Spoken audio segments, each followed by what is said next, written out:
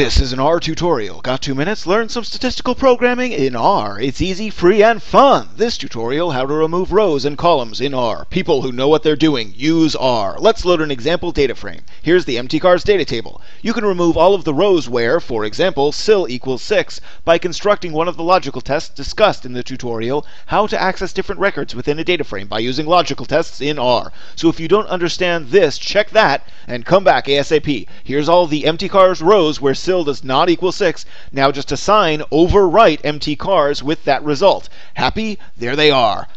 There's a couple of ways to take a subset of the columns of mtcars. The most obvious way is to just write the columns you want to keep in a character vector and then paste that character vector into the column's parameters position, and now mtcars only contains those three columns. Let's refresh mtcars again and only keep the first, second, third, fourth, sixth, and eighth columns of mtcars. There's mtcars. Let's refresh mtcars again and just remove the fourth column. There's mtcars with the fourth column removed. We can keep doing it. We can keep running this and keep removing the fourth column until, well, basically until we're down to three columns.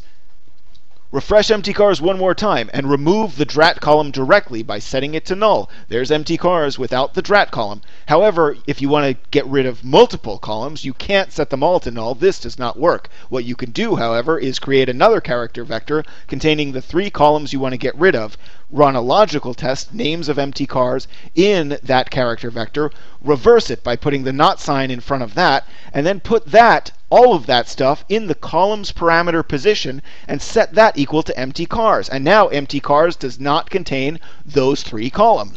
Poof, they're gone. This has been a work of R.